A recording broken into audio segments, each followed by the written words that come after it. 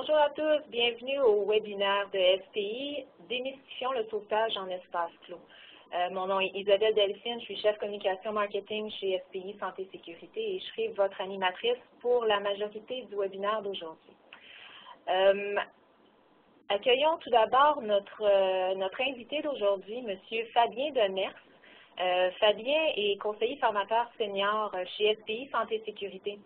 Il enseigne le sauvetage en espace clos depuis près de 20 ans, développe des fiches de, sauvetage pour les espaces clos pour différentes organisations, participe également avec les organisations à éprouver des fiches et plans de sauvetage. Euh, Fabien a également diffusé des conférences sur le sauvetage en espace clos et a participé au comité sur le sauvetage technique, incluant le sauvetage en espace clos avec l'École nationale des pompiers du Québec. Euh, Fabien est également co-auteur d'un article sur le sauvetage en espace clos qui avait paru dans la revue Travail et Santé de septembre 2008 que vous voyez à l'écran. On va vous faire parvenir euh, cet article-là d'ailleurs, ainsi que le lien du webinaire à la fin de l'activité d'aujourd'hui. Donc, euh, bonjour Fabien. Bonjour Isabelle. voyons tout d'abord, avant d'aller plus loin dans le contenu du webinaire, voyons, regardons ensemble l'agenda de, de l'activité. Donc, on a divisé en quatre sections. Tout d'abord, on va commencer avec un sondage auprès des gens qui sont en ligne présentement, donc vous, euh, pour mieux vous connaître et adapter un petit peu le contenu du webinaire euh, selon les participants qu'on a en ligne euh, présentement. puis vous êtes près d'une centaine, donc on est très heureux de tous vous avoir parmi nous.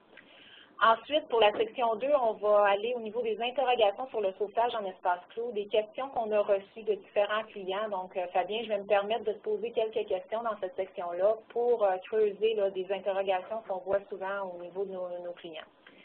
Troisième section, on va parler des principes de base du sauvetage en espace clos et on va terminer en période 4 pour euh, quelques questions de vous euh, comme ça a été mentionné au niveau des, du technique, d'aller dans la, section à votre droite dans la case pour poser vos questions. Donc, tout d'abord, débutons maintenant avec le sondage. Je vais y aller avec la première question et vous pourrez répondre euh, avec les boutons que vous voyez à votre droite pour la réponse qui convient le mieux à votre situation.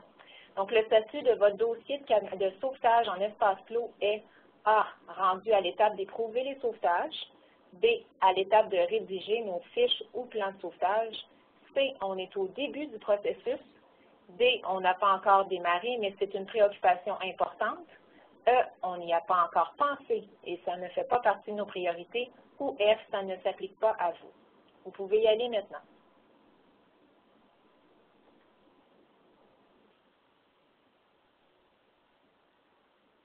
Fabien, as-tu une petite idée des, réponses qui vont sortir suite à cette question-là?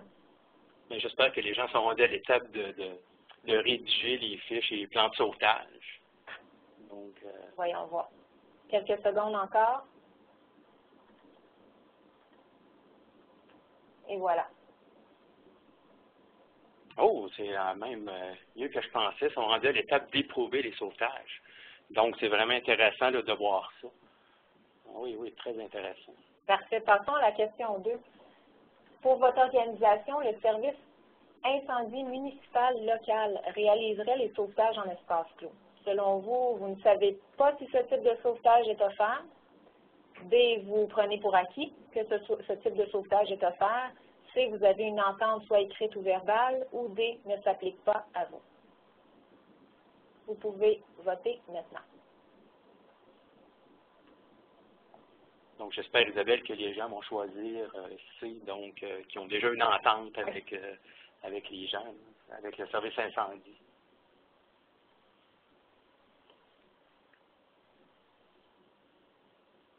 Donc, les réponses en viennent.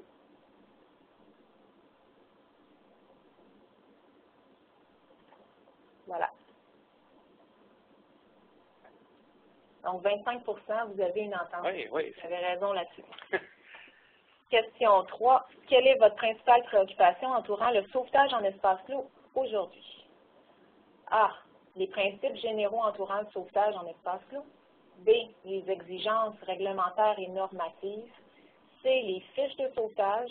D. La validation d'une fiche de sauvetage. E. Les équipements de sauvetage. Ou F. Autres. Donc, vous avez 10 secondes pour voter. Comme dirait Guillaume Lepage, c'est la question qui tue. Oui. Donc, c'est vraiment, c'est vraiment la question intéressante pour le- la suite du webinaire. Parfait.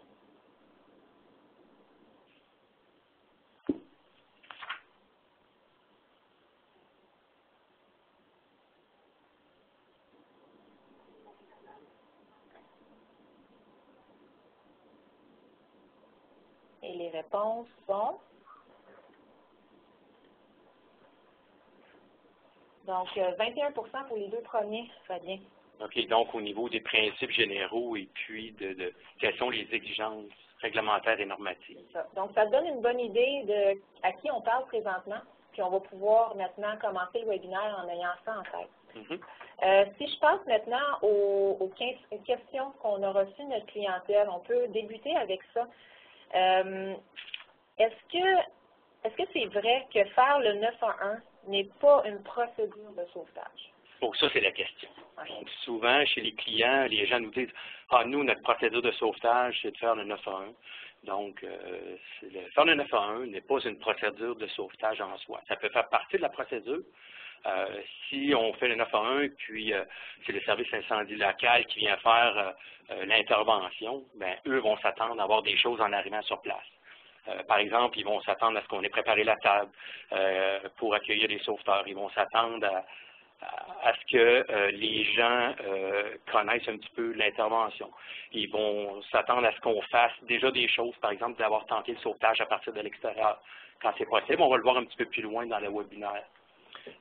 Donc aussi d'avoir le maximum de détails pour être en mesure de faire le sauvetage. Par contre, dans certaines organisations qui ont déjà des sauveteurs à l'interne, euh, faire le 9 à 1, ben, ça va enclencher tout le processus qui est déjà en place. Parfait. J'ai une prochaine question. Pourquoi le sauvetage en espace clos est un sujet encore tabou en 2014? Donc, souvent, les gens ne, voient- ne ve- ne veulent pas voir encore la réalité. Donc, ce qui arrive de ce côté-là, c'est que souvent, il y a des situations très complexes. Les gens envoient des, euh, des travailleurs dans des espaces clos et euh, se disent, bon, on souhaite qu'il n'arrivera rien. Puis, il y en a même qui m'ont dit, euh, le fait de ne pas y penser au sauvetage, ça n'arrivera pas. Mais c'est pas comme ça que ça fonctionne. Il faut vraiment y avoir pensé d'avance euh, pour que, éviter qu'on se prenne au dépourvu s'il arrive quelque chose de ce côté-là. Donc, il faut vraiment être préparé. Il ne faut pas le voir, faut pas le voir comme un sujet tabou. Il faut vraiment en parler au sein de notre entreprise de ce côté-là. Puis suite au webinaire, ben, j'espère que ça va être le processus qui va enclencher le tout. Oui, absolument. Euh, si on parle de sauvetage en espace clos, par quoi on devrait commencer? On va voir un petit peu dans le webinaire, mais peut-être déjà en introduction, on pourrait dire que, euh, à savoir qui va intervenir. Donc, on a vu tout à l'heure dans les questions, euh, est-ce qu'on fait affaire avec le service incendie local? Est-ce qu'on a une brigade euh, à l'interne? Donc, ça, c'est la, c'est la première chose. Il faut savoir qui va intervenir. Euh, par la suite, ben, c'est de développer vraiment peut-être une procédure générale au niveau du sauvetage en espace clos. Euh, pour certaines organisations, c'est déjà inclus dans le, dans le PMU. Euh, d'élaborer par la suite les fiches plans de sauvetage, on en parler tout à l'heure, euh, d'acquérir les équipements nécessaires par rapport à ça. Euh, aussi, peut-être suite à l'analyse des sauvetages, ben, on s'aperçoit qu'il y a peut-être certaines modifications à apporter, que ce soit au niveau de l'installation des points d'ancrage, que ce soit au niveau de la modification des ouvertures sur certains espaces clos. Et par la suite, c'est vraiment au niveau de tester. Donc, il faut vraiment tester ou éprouver, comme dit la réglementation québécoise. Euh, et le dernier volet, c'est vraiment le, délai- le- le- le- le volet formation, donc que ce soit au niveau de la formation euh, de sauvetage, si on décide d'avoir une brigade à l'interne. Euh, ça peut être une formation aussi de soutien au sauvetage, donc on accueille les pompiers externes. Ou aussi, ça peut être une formation également de sauvetage sans entrée. On va voir un petit peu plus loin dans le webinaire qu'est-ce que le sauvetage sans entrée, donc à partir de l'extérieur. Donc, c'est vraiment les étapes, Isabelle. Parfait. Puis, quel outil peut-on se servir pour élaborer des fiches ou plans de sauvetage? Euh, Il n'y a pas de modèle standard. On va voir un exemple dans le webinaire que je vous propose. Euh, par contre, euh, on peut se baser beaucoup sur la norme CSA. Pour les gens qui ne connaissent pas la norme CSA, la ZN 1006, sur la gestion du travail en espace clos. Donc, cette norme-là élabore certains aspects qu'on devrait inclure dans nos fiches ou dans nos plans de sauvetage. Est-ce qu'il y a une façon de mettre à l'épreuve une fiche ou un plan de sauvetage? On l'essaie. Donc, c'est pas compliqué. Il faut vraiment la tester. Euh, dans certains cas, les gens nous disent Ouais, mais c'est pas évident de tester nos procédures, on n'a pas le temps. Euh, moi, ce que j'ai à leur répondre de ce côté-là, souvent je dis ben si on le planifie dans nos arrêts de travail pour faire l'entrée en espace clos, donc à ce moment-là, si on est en mesure de planifier, des fois ça prend cinq minutes avant l'entrée, puis on est capable vraiment de savoir si ça fonctionne ou si ça fonctionne pas. Et un petit peu plus loin, dans le webinaire, s'il me reste un petit peu de temps, ben, je vais vous faire euh, je vais vous partager une situation qui est arrivée l'an passé au, sein d'une organisation. Parfait. Puis finalement, à qui va la responsabilité concernant la planification du sauvetage en espace clos au sein des organisations? Euh, on pourrait, la réponse serait probablement de dire c'est le propriétaire des lieux, donc c'est vraiment à cette personne-là que revient la, la, responsabilité. Par contre, dans certains cas, cette responsabilité, cette responsabilité-là est envoyée ou est partagée avec d'autres personnes souvent, euh, les gens qui vont faire affaire avec des services externes, euh, souvent vont leur, euh, leur proposer de faire les, procédures ou les plans de sauvetage de ce, côté-là. Mais souvent, ce qu'on voit encore, même aujourd'hui, en 2014, bientôt en 2015, les gens se lancent beaucoup la balle à savoir qui va prendre la responsabilité, mais il faut que quelqu'un attrape la balle au bon à un moment donné. Excellent.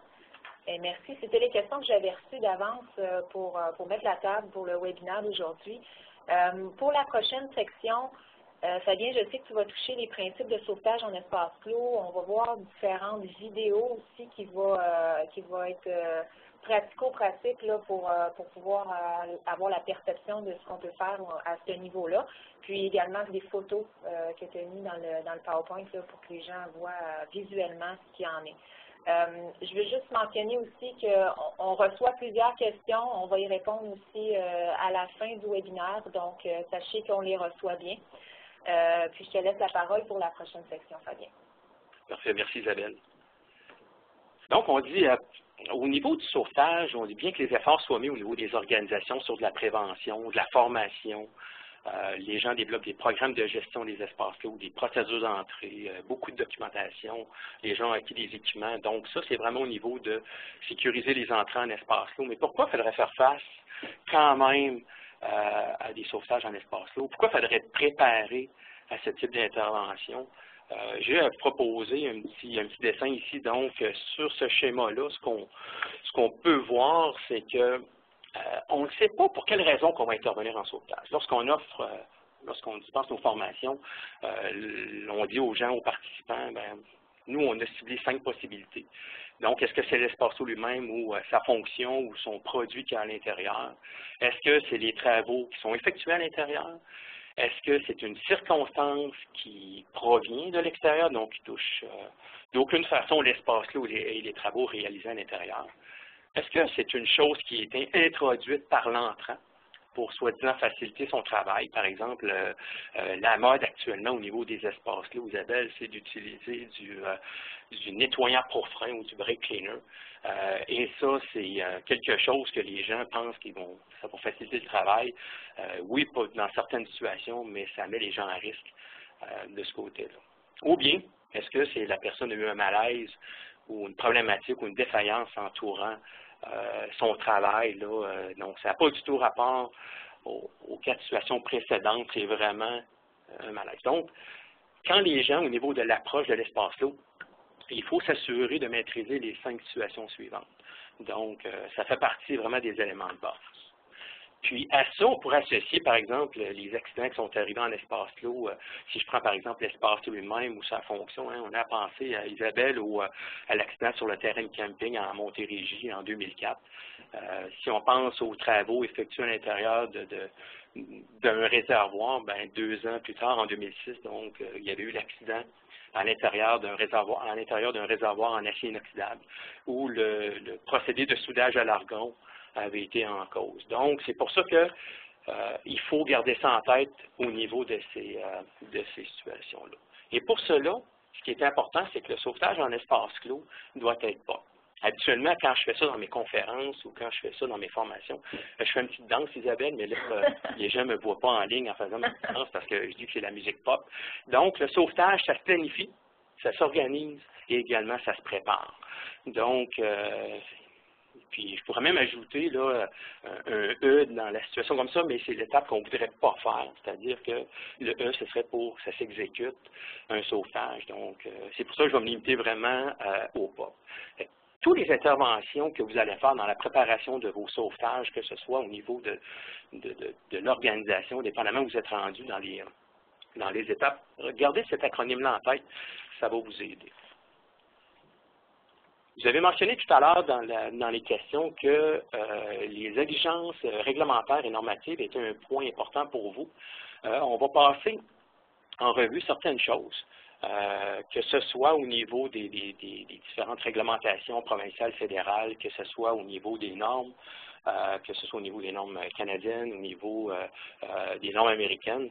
Je vais, je vais vous mentionner certains éléments importants euh, puis aussi, on s'aperçoit que euh, c'est quand même une bonne lacune au niveau des, organisations. Lorsque nous, euh, on intervient, Isabelle, auprès des clients, donc il y a des choses à faire au niveau réglementaire, souvent ces gens-là ne respectent pas ces exigences. -là. Donc, dans un premier temps, lorsqu'on parle du, du, règlement sur la santé, sécurité au travail ou le code de sécurité pour les travaux de construction. Donc, les éléments importants, donc à l'article 300 du RSST, on dit bien avant qu'elle soit entreprise un travail dans un espace clos, euh, on doit avoir disponible par écrit sur, le lieu, les lieux mêmes du travail euh, la procédure de sauvetage incluant les équipements. Donc, assurez-vous que ces éléments-là sont en place. Euh, et puis, ces éléments-là doivent être établis par une personne qualifiée. On va voir un petit peu plus loin qui peut faire les procédures de sauvetage. Donc, c'est vraiment les personnes qualifiées. À 309, toujours dans le RSST, là, on va parler un petit peu plus de c'est quoi la procédure de sauvetage qui permet de porter secours rapidement. Et on dit que cette procédure-là doit avoir été euh, élaborée et éprouvée. Donc, on l'a écrite et on l'a testée, on l'a essayé et ça fonctionne. Donc, on dit tantôt, dans nos étapes, ben, c'est une étape importante parce que souvent, assis autour d'une table, on peut penser la manière qu'on réaliserait un sauvetage dans un espace clos. Par contre, lorsqu'on l'essaie, des fois, on se bute à, certaines situations qu'on avait peut-être plus ou moins pensées. Et on doit également prévoir les équipements de sauvetage. Puis la réglementation aussi euh, nous dit que ça peut notamment prévoir euh, l'équipe de sauvetage, des plans d'évacuation, etc. Il faut faire attention à cette interprétation-là.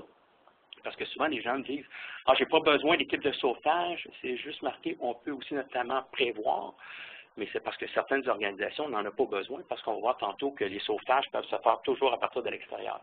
Mais si on avait besoin d'entrer à l'intérieur d'un espace, là, on n'a pas le choix d'avoir une procédure de sauvetage, euh, d'avoir une équipe de sauvetage, pardon. Si on regarde au niveau du, euh, Code de sécurité pour les travaux de construction, ben, c'est sensiblement la même chose. Donc, on doit faire l'identification par écrit des moyens et des équipements de sauvetage. Puis, avant de débuter les travaux, donc le maître d'œuvre, conjointement avec l'employeur, donc doit établir les, les, aspects touchant le sauvetage. Et ces informations-là doivent être disponibles sur les lieux mêmes du travail. Si on prend euh, le Code canadien du travail, parce qu'il y en a aujourd'hui dans notre euh, qui assistent aux webinaires qui sont sous juridiction fédérale, mais à ce moment-là, l'employeur doit désigner les équipements de protection, les équipements de secours à utiliser lors d'opérations de sauvetage. Et également, ben, certaines, certaines conditions obligent l'employeur également donc à exiger le port d'un de sécurité qui est attaché à, l'extérieur de l'espace. Donc, moi, je vous suggère fortement, en fonction de, votre, de vos exigences réglementaires de ce côté-là, de consulter la réglementation qui vous touche et puis de vraiment l'appliquer. Il faut faire attention que la réglementation nous dit euh, quoi faire. Il faut vraiment trouver le comment. Donc, comment on va l'appliquer? Et souvent, ben, c'est euh, faut l'associer également aux bonnes pratiques entourant le, le, sauvetage en espace Parlant de bonnes pratiques, il y a également la norme CSA, la ZEN 1006. Euh, cette norme-là, moi, je vous suggère fortement là, vraiment de la consulter et peut-être de vous de, vous baser sur cette norme-là pour, euh, pour planifier vos sauvetages en espace clos. Donc, euh, elle nous mentionne, dans cette norme-là nous mentionne, euh, Isabelle, par exemple, la planification des interventions d'urgence. Donc, qu'est-ce qu'on doit faire de ce côté-là? Donc, c'est quoi nos responsabilités en tant qu'organisme? Également au niveau de la disponibilité d'équipes d'intervention d'urgence. Euh, donc, avant que les gens rentrent dans un espace, là, donc d'avoir des gens disponibles. Euh, cette norme-là nous précise également que si on est obligé de faire des sauvetages en conditions d'IVS, ben, la norme nous suggère, donc, euh, nous dit qu'on devrait avoir l'équipe sur place déjà et prêt à intervenir avec les équipements déjà sur le dos de ce côté-là. Cette norme-là également nous dit, Isabelle, au niveau des, élaborations par écrit, donc des situations ou des plans d'urgence. Donc, qu'est-ce que ça devrait contenir? On va le voir un petit peu plus loin. Et cette norme-là également nous dit qu'on devrait faire des exercices de sauvetage au moins deux fois par année avant d'entrer dans un espace clos.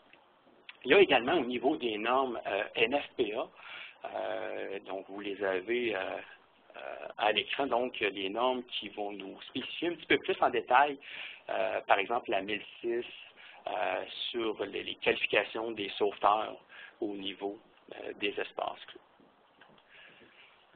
Lorsqu'on regarde aussi les principes du sauvetage, il y a également le, facteur temps qu'on doit considérer. Lorsque vous allez revisionner le, webinaire, vous allez avoir le tableau suivant. Donc, c'est le tableau où on parle des six délais en sauvetage. Et souvent, Isabelle, on utilise ce tableau-là, euh, on se présente à côté de l'espace lot et puis on dit, OK, euh, s'il y avait un sauvetage ici, dans l'espace lot, puis j'ai à répondre à ces questions-là, bien, ça me donnerait combien de temps en bout de ligne pour réaliser un sauvetage. Et souvent, si vous regardez les deux premiers délais, bien, ces deux délais-là touchent principalement le surveillant, donc qui est souvent le, facteur clé pour euh, euh, l'intervention rapide au niveau du sauvetage en espace, que ce soit au niveau du délai de réaction ou du délai d'avertissement. Par la suite, bien, indépendamment qui va faire le sauvetage, donc le délai d'intervention, le délai d'évaluation, le délai de préparation, et également le délai de sauvetage, mais ça va vraiment dépendre euh, qui va faire le sauvetage. Par contre, au niveau des délais d'évaluation,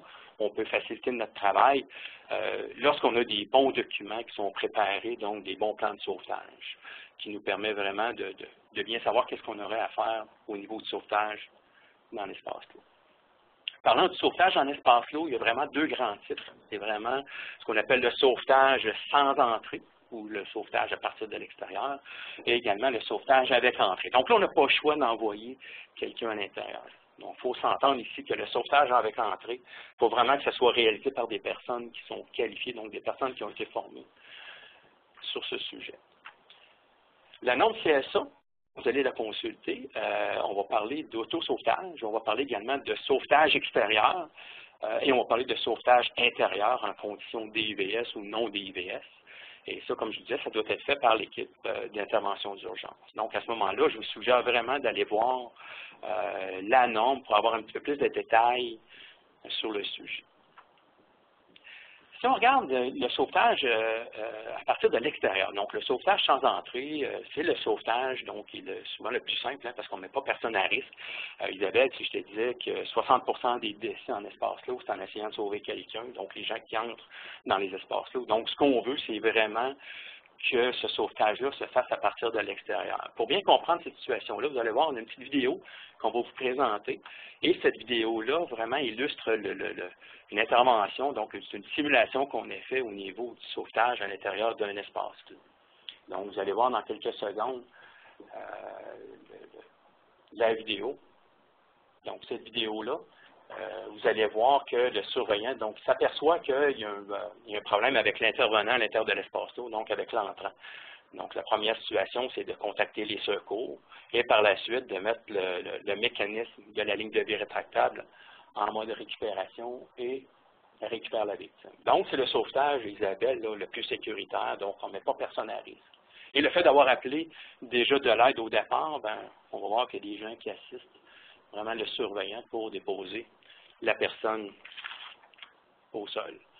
Donc, c'est ce qu'on recherche à avoir au niveau euh, des espaces malgré que ce n'est pas toujours possible. Donc, c'est pour ça qu'il faut quand même penser euh, des sauvetages à partir de l'intérieur. Donc, on n'a pas le choix de rentrer dans l'espace. Comme vous pouvez voir un petit peu sur la photo, euh, ici, c'est la même photo. Donc, on voit l'entrée, on voit un petit peu le, visuel. Faites juste regarder le conduit de ventilation, donc c'est assez problématique. Et à l'endroit où le travailleur travail. Donc, à ce moment-là, vous allez voir que euh, c'est quand même pas évident au niveau du sauvetage. Par contre, on a vu tout à l'heure que qui va répondre, donc c'est bien important à ce sujet-là. Euh, est-ce que c'est une équipe à l'interne? Est-ce que c'est une équipe à l'externe? Donc, euh, je vous laisse faire vos devoirs de ce côté-là, mais il faut vraiment, vraiment, vraiment que ça soit planifié on parle de planification au niveau des sauvetages, donc les gens qui ont à les interventions. Donc, il faut vraiment qu'il y ait la formation, mais surtout l'entraînement les équipements appropriés. Donc, c'est pas parce qu'aussi on fait une formation d'une personne, d'un groupe de personnes, pardon, dans un espace là qu'on doit prendre pour acquis que ces gens-là vont être en mesure de réaliser le sauvetage en tout temps. Il ne faut jamais oublier qu'il y a toujours un facteur émotionnel qui entre en ligne de compte, surtout pour les brigades internes. Donc, c'est important vraiment de contrôler cette situation-là. Donc, euh, parce que souvent, le facteur émotionnel peut faire que le sauvetage en espace clos euh, se réalise bien euh, ou pas. Si on regarde certaines situations complexes, donc moi, je vous invite dans vos organisations, donc à partir des, photos suivantes, là, vous êtes peut-être en mesure de, vous reconnaître un petit peu par rapport à vos espaces clos. les situations complexes, ici, hein, c'est souvent avec des ouvertures sur le dessus pour la première photo. Pour la deuxième, à droite, c'est vraiment de descendre la personne au sol. Et par la suite, ben, la situation que vous avez à l'écran présentement, c'est juste regarder un petit peu le labyrinthe qu'il y a à l'intérieur, l'espèce de renfort, hein, la, photo du bas, ça serait très problématique. Et vous avez aussi la dimension de l'ouverture. Il n'y a pas n'importe qui qui peut réaliser ce type de sauvetage-là. Donc, ça nous prend vraiment des sauveteurs qui ont le gabarit, Isabelle. Donc, il faut vraiment que ce soit des gens qui, qui ont le profil de l'emploi, comme on pourrait dire, pour être en mesure de rentrer dans ces endroits-là. Et je vous présente d'autres situations, hein, si on pense juste aux, éoliennes qui sont à la mode présentement. Ici, ben, on voit un petit peu la même chose, hein, la dimension des ouvertures, ou pour la photo de droite, vraiment la, hauteur de l'ouverture. Ici, on voit vraiment la complexité. Donc, on a une ouverture sur le dessus au niveau vertical. Mais à l'intérieur, regardez le grand tunnel qu'on a à faire pour se déplacer vraiment vers l'intérieur. Ici, ben, on reconnaît les silos de ferme, mais si vous regardez la photo, hein, on a vraiment des potences installées. On va parler d'équipement tout à l'heure. Donc, c'est vraiment des aspects cruciaux donc qu'on doit prendre en considération. Si on regarde au niveau des, euh, des outils, on parlait tantôt euh, euh, par où on doit commencer, ben, quand on parle d'élaboration des, des plans de sauvetage, euh, donc, si on regarde ici au niveau de la fiche de sauvetage, donc qui doit la développer, puis quel doit être son contenu, bien, nous, ce qu'on vous propose, c'est les éléments suivants. Donc, vraiment de, prévoir le moyen, comme on a vu tout à l'heure, pour alerter les secours. Donc, prévoir les actions que peuvent faire les surveillants à partir de l'extérieur. Donc, prévoir également est-ce que c'est un sauvetage avec ou sans entrée. Euh, combien de personnes qu'on aurait besoin pour faire un sauvetage? Donc, si vous regardez l'image de gauche, euh, vous voyez que ça prendrait peut-être plusieurs personnes. on a besoin de combien de personnes pour faire le sauvetage? Et également, quels sont les équipements qui sont nécessaires?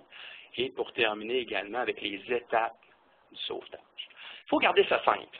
Regarde Isabelle, le, beau petit macramé là, sur, euh, l'image. Euh, donc, on peut voir qu'il faut garder ça simple, le sauvetage en espace lourd, d'avoir des bons équipements. Par contre, dans certaines situations, ça peut être un peu problématique. Par exemple, avec l'espace là euh, que nous avons devant nous, où là, on a deux ouvertures, une ouverture à l'avant, une ouverture à l'arrière.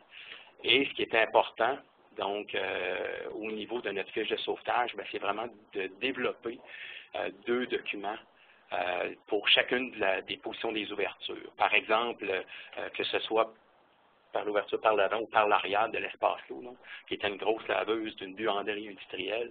Donc, à ce moment-là, c'est important de développer les bons documents. Par contre, certaines euh, euh, entreprises, ou je pourrais vous dire même certains services incendies, vont plus utiliser genre de fiche d'intervention, Isabelle, comme on voit à l'écran. Donc, cette fiche-là euh, est déjà utilisée pour d'autres types d'interventions. Elle est vraiment adaptée au niveau du sauvetage en espace là, mais les gens l'utilisent également dans d'autres types d'interventions, que ce soit au niveau incendie, que ce soit au niveau de, de, de, de matières dangereuses, etc comment on valide? Donc, si on regarde la vidéo suivante, donc vous allez remarquer dans la vidéo que euh, cette vidéo-là, euh, on va voir vraiment qu'on a fait le test. C'est vraiment une simulation de sauvetage, donc on a vraiment testé. Euh, parce que souvent, les gens nous disent, ah, faire un sauvetage dans l'espace clos, porter un harnais, utiliser une corde, on est en mesure de sortir la personne à l'intérieur de l'espace clos. Donc, on peut voir ici à l'écran que euh, dans un premier temps, ça peut sembler assez simple. Par contre, ça va se compliquer vraiment ici lorsqu'on veut faire euh, l'évacuation de la personne. Donc, euh, lorsqu'elle est rendue pour sortir de l'espace. Donc, c'est pour ça qu'on va voir certaines organisations ont développé donc certains outils qui vont faciliter le sauvetage, comme on va voir dans quelques secondes, donc d'avoir une planche de sauvetage comme ça, qui va vraiment nous permettre de faciliter l'évacuation du travailleur afin de bien l'accueillir, euh, Isabelle, à l'extérieur. Donc, on revoit, on voit également qu'à l'extérieur, ici, ben, on, a, placé une, euh, planche dorsale afin d'accueillir le, travailleur. On va voir dans la deuxième vidéo que là, au lieu d'utiliser euh, le harnais, on utilisait des bracelets de sauvetage. Donc, c'est quand même un outil qui demande d'être connu au niveau des interventions en espace clos. Donc, le, travailleur travaille à l'intérieur de l'espace clos. Donc, là, on simule une chute à l'intérieur. Et on va voir que c'est quand même, euh, Isabelle, très facile. C'est même plus facile d'évacuer le travailleur. Et là, vous allez euh, penser, les gens qui sont en ligne, peut-être, de dire, ouais, mais c'est pas évident de travailler ça euh, au niveau avec ça au niveau des pieds. Je vous l'accorde. Donc, souvent, ça va être dans des endroits qui vont être plus, plus petits. Donc, c'est des endroits où c'est plus simple de pouvoir évacuer la personne. Donc, c'est sûr qu'on n'irait pas travailler sur un échafaudage avec, euh, avec ce type d'équipement-là euh, au pied.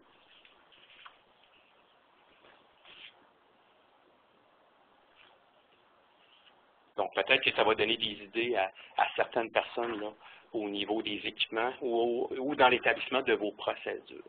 L'autre chose qui est importante, c'est vraiment au niveau des équipements. Donc, ici, on voit qu'il y en a quand même plusieurs euh, équipements qu'on peut utiliser au niveau des espaces clos. Donc, si vous allez à l'annexe 10, euh, l'annexe A, pardon, 10, euh, A10 de la norme CSA, il y en a également qui sont présentés. Juste avant de terminer, je tiens à vous présenter également quelque chose qui demande à être connu, donc la perche de sauvetage. donc la perche de sauvetage, on va voir une petite vidéo également. Et au niveau de la perche de sauvetage, cette perche-là va nous servir va servir à aller attacher le travailleur à l'intérieur, par exemple, qui a eu besoin de se détacher, ou bien le travailleur qui, euh, qui euh, quand on n'envoie plus d'un travailleur à l'intérieur des espaces clos. Ça, à ce moment-là, on peut utiliser la perche. Par contre, ça ne doit pas devenir votre, premier moyen de sauvetage. Il faut vraiment, parce que souvent, les, travailleurs vont dire « Ah, ben, j'ai pas besoin de m'attacher, on a la, perche de sauvetage. » Mais Isabelle, il faut vraiment que ça soit un outil complémentaire à notre sauvetage. et c'est le processus qui continue pour pouvoir remonter euh, la personne. Donc, en terminant, euh, vous pourrez voir dans le webinaire également, juste avant de prendre les questions, euh, vous allez pouvoir remarquer également au niveau, lorsque vous faites des pratiques de sauvetage, hein, il faut vraiment le faire pour simuler la réalité. Il faut vraiment le faire dans des endroits qui reproduisent vraiment les types d'espaces qu'on a. puis aussi, faites des pratiques régulières. Donc, j'ai des questions que je vous propose aussi vraiment de réflexion par la suite, euh, que vous pourrez répondre là, euh, en toute tranquillité en revisionnant le, webinaire. Excellent. Merci beaucoup, Fabien. Je, crois que ça fait beaucoup réagir, beaucoup de questions aussi euh, des participants en ligne. On va pouvoir en prendre quelques-unes. malheureusement, je ne crois pas qu'on va être capable de toutes, les couvrir, mais sinon, je vais vous inviter à, nous envoyer un courriel que vous allez voir à la fin pour qu'on puisse y répondre. Euh, je commence par une première question. Est-ce qu'un inspecteur de la CSST peut demander à voir ou valider une procédure de, euh, de sauvetage? De sauvetage, oui, effectivement. Et puis, on a eu un mandat à faire à un moment donné où euh, les inspecteurs avaient été chez un de nos clients. Et puis, il y avait tout le processus à faire au niveau des espaces clos. Et les inspecteurs ont exigé à la fin qu'on fasse une pratique et que les gens étaient autonomes pour faire l'évacuation du sauvetage, parce que le service incendie local ne ferait pas le service. Donc, l'inspecteur exigeait que ces gens-là soient en mesure, euh, donc, euh, sur place, de faire le sauvetage. Et là, on parlait vraiment ici, on avait la possibilité de faire un sauvetage sans entrée. Donc, et le, petit dessin de plateforme tout à l'heure que j'ai présenté là, dans la vidéo, ben, ils ont fait quelque chose de similaire à ça. Et ils ont été en mesure de le faire. Et bien oui, ça peut arriver que les, les inspecteurs vous exigent de le faire. Excellent. Euh, j'en ai une autre ici. Qui est responsable de développer un plan de sauvetage en espace clos lorsqu'on est un sous-traitant qui, va travailler chez des clients? OK. J'ai mentionné un petit peu plus tôt que cette responsabilité-là souvent est donnée euh, au propriétaire des lieux. Par contre, le propriétaire des lieux peut vous le donner, par exemple, si vous êtes sous-traitant, peut vous donner cette responsabilité, cette responsabilité-là. Donc, il peut arriver puis vous dire, OK, ben si vient faire les travaux chez nous, ben, j'exige également que tu arrives avec ton équipe de sauvetage. Donc, vous allez devoir développer ces plans de sauvetage-là. Donc, parce qu'il n'est peut-être pas en mesure de la faire. Là. Il vous offre, il, vous offre la possibilité de la faire, donc ça pourrait arriver que ce soit votre responsabilité vous soit attribuée à ce moment-là. Excellent. Euh, troisième question, doit-on faire deux pratiques de sauvetage par année si on planifie des sauvetages sans entrée? Euh, moi, je vous suggère de le faire un petit peu plus souvent, dépendamment des espaces clos. Et mon témoignage tout à l'heure, je vais essayer de le faire rapidement, mais on est intervenu chez un client où j'allais là avec un rôle de, coach un petit peu, hein, j'allais coacher les gens. Et puis, à un moment donné, c'est un, sous-traitant, puis il me dit, euh, on va faire une petite pratique de sauvetage, puis il m'a dit, ah, tu seras jamais capable de me sortir de là. Puis je voyais dans ses yeux, c'était comme... Euh, il ne voulait pas qu'on le fasse parce qu'il avait peur de l'échec, puis il avait peur qu'on ne soit pas capable de sortir. Et lorsqu'on a réussi à le faire, euh, il était même heureux qu'on ait réussi, puis il dit, je vais me sentir plus en sécurité de, faire les travaux. Donc, moi, je vous suggère de le faire même plus souvent, surtout quand c'est sans entrée. On peut déjà demander au travailleur, rentre à l'intérieur, euh, que je sois dans le fond, on va être en mesure de sortir, comme on l'a fait dans les vidéos. Excellent. Euh, si j'en prends un autre ici, jusqu'où un travailleur peut faire un auto-sauvetage sans formation, exemple, remonter la victime? OK. Donc, lorsqu'on parle d'auto-sauvetage, hein, c'est vraiment que le travailleur est capable de, s'évacuer par lui-même de l'espace. Peut-être qu'ici, on parle de sauvetage sans entrée. C'est sûr que lorsqu'on regarde la réglementation québécoise, on dit à l'article 308 du règlement que les surveillants doivent avoir les habiletés et les connaissances pour ce faire. Donc, ça veut dire que si on a installé des équipements sur place, il faut que le surveillant sache s'en servir. Donc, à ce moment-là, il n'y a pas le choix. Il doit être en mesure de savoir comment ça fonctionne pour être en mesure de sortir la personne, puis même de l'avoir essayé. on revient toujours à, tester nos procédures, à éprouver nos procédures.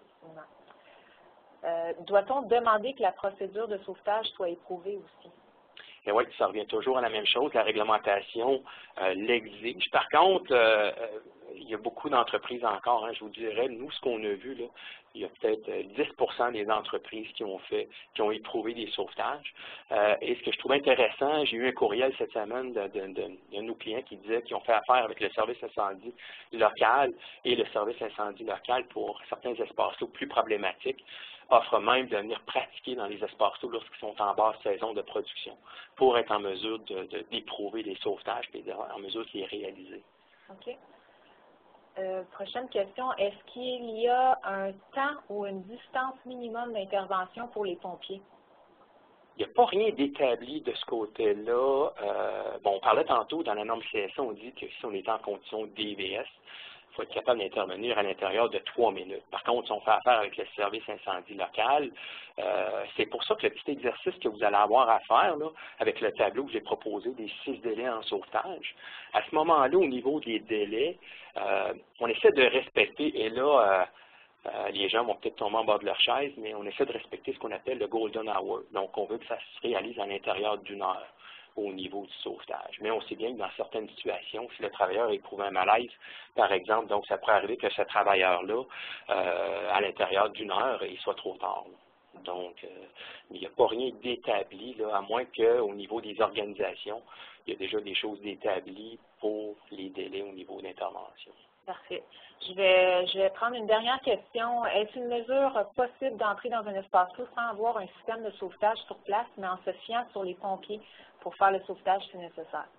Euh, comme on disait tantôt hein, dans le début de la présentation, euh, si eux arrivent avec les équipements, parce que c'est pas obligatoire d'avoir des équipements à l'extérieur en tout temps. Ça va vraiment faire partie de votre analyse de risque et de l'analyse de vos sauvetages. Donc, à ce moment-là, euh, si euh, ça prend un équipement standard de sauvetage, ben oui, les, pompiers vont peut-être, puis on peut se fier à eux euh, en prenant pour acquis qu'ils ont l'équipment, puis ils savent s'en servir, puis ils ont déjà pratiqué ce type d'intervention-là. Par contre, il faut faire attention parce que dans certaines interventions, ça prend des équipements spécialisés. Donc, euh, c'est pas ça ne veut pas nécessairement dire que ces équipes-là ont tous les équipements nécessaires. Donc, faites vraiment votre travail à l'interne pour savoir quels sont les équipements qui seraient jugés nécessaires par rapport à ça.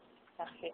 Donc, on doit, euh, on doit terminer là-dessus. Juste avant de se quitter, euh, j'aimerais euh, offrir exclusivement, une offre exclusive offerte par les, services conseils chez SPI. Donc, on vous offre 500 de rabais jusqu'au 31 mars 2015 pour tous les gens qui étaient présents sur le webinaire d'aujourd'hui. Donc, les services sont listés ici. Donc, vous avez juste appelé au service conseil et mentionné que vous étiez présent au webinaire sur le sauvetage en espace clos et vous aurez droit automatiquement à un 500 de rabais sur les services offerts ici sur la, la CETA. Donc, pour terminer, on va se quitter là-dessus. On apprécierait beaucoup obtenir euh, vos commentaires euh, par le sondage que vous allez voir à votre écran une fois que la session va être terminée. Et pour tout commentaire ou des questions que vous avez posées pendant le webinaire qui ont malheureusement pas pu être répondues, n'hésitez pas à envoyer un courriel à communication at spi-s.com et ce sera un plaisir de pouvoir y répondre par courriel. Donc, merci beaucoup à tous d'avoir participé au webinaire d'aujourd'hui en espérant pouvoir vous accueillir pour un prochain euh, webinaire euh, dans un futur approché. Merci. Merci Fabien. Merci beaucoup.